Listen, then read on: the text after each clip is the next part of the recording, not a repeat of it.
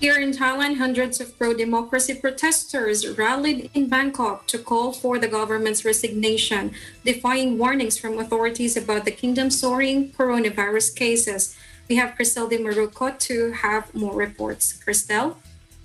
Yes, good afternoon, Faye. In another news here in Bangkok, for the first time in months, hundreds of pro-democracy protesters rallied in Bangkok on Thursday to call for political change. This is the first since the second wave of COVID-19 in mid-December 2020, and as the country battles its worst surge of infections as well as deaths in third wave, which began in April this year. Protesters are calling for Prime Minister Prayut Chan-o-cha's resignation and constitution reform proposals from the opposition to be accepted.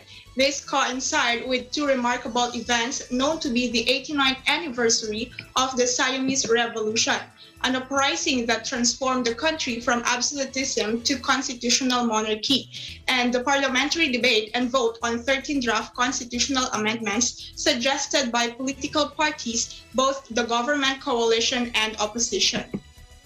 Defying the emergency decrees ban on gatherings of more than 50, hundreds of protesters gathered at the Democracy Monument in Bangkok at dawn, the time the People's Party revolutionarily or revolutionaries declared the end of absolute monarchy almost nine decades ago.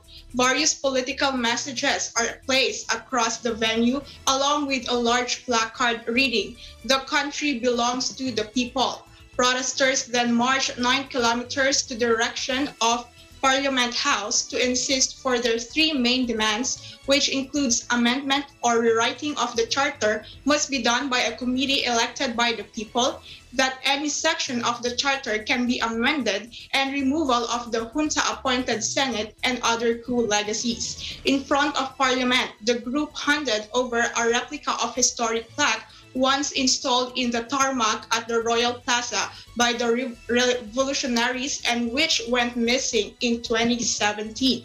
An open letter stating their demands and a copy of the first constitution to an opposition representative so that the parliamentarians can be reminded of the priorities of the people when deliberating proposed amendments. The current constitution is the 20th, drafted by the military regime in power between 2014 and 2019 and approved in a nationwide referendum in 2016 protest leader from Thammasat University, Parit Chiwarak, also known as Penguin, said he had low expectations of parliament but needed to make groups' voice heard. He said, and I quote, We are here to make our standpoint known. It's up to you whether you listen or not. The Ratsadon group will persist with our demands. Prayut needs to be out by the end of this year. End of quote. The rallies continued through the evening at various locations in Bangkok, calling off the protests early to avoid clashes or unexpected incidents, early without camping out in front of Government House as intended. Leaders have called for regroups on Saturday. Thailand is now battling its worst COVID 19 crisis yet, with many hospitals reported reaching capacity infections since April 1st, 2021, past the 200,000 mark today. This update is from Thai PBS World. Back to you, Faye.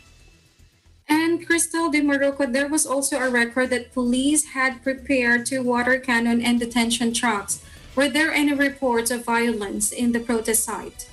Um, Thank you, Faye. Um, but no, there are no violence. It was a peaceful uh, rally uh, done by the Thai citizens.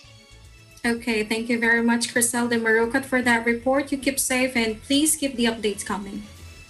Thank you so much, Faye. Reporting live from Bangkok, Thailand. This is Christelle Nicole de Marucat, and we live in interesting times.